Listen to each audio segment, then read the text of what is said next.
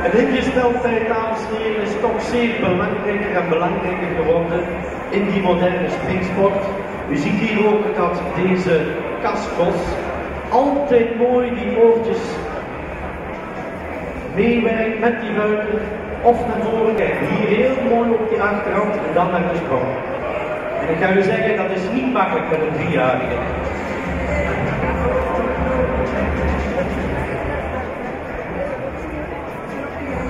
En als er dan een optie staat, dan zegt hij, oh hier.